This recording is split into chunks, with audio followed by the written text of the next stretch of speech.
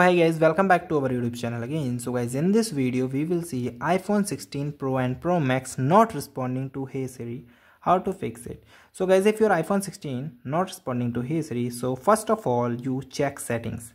So guys in the setting you make sure that your hey setting hey siri setting is enabled or not. For going you go to the setting okay? In the setting go to the apple intelligence and siri section okay then guys here is talk and type to siri option. So you just tab it and here you select it to the hey siri otherwise you select both of them.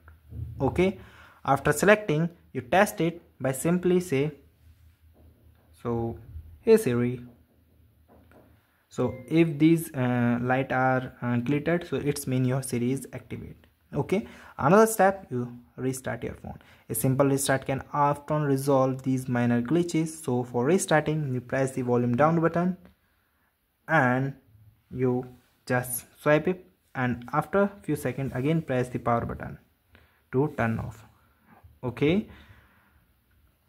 If still having the issue so guys as we know that apple just launched the apple intelligence in siri so make sure before activating the only Siri make sure your Apple Intelligence is turned on. Okay?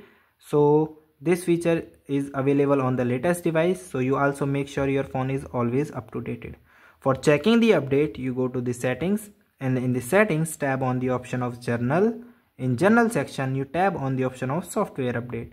So guys here it shows the iOS is up to date so it's mean my phone is update with the latest version. Okay and another thing is you also try to check your uh, microphone functionality. So guys you allow your microphone to uh, your Siri device. So we check it how it is allowed. So you first simply search microphone.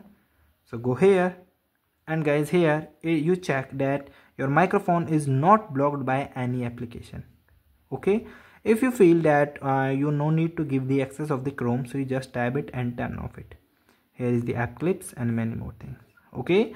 So guys thank you and have a nice day and subscribe our youtube channel for the further information. I hope this video is very helpful for you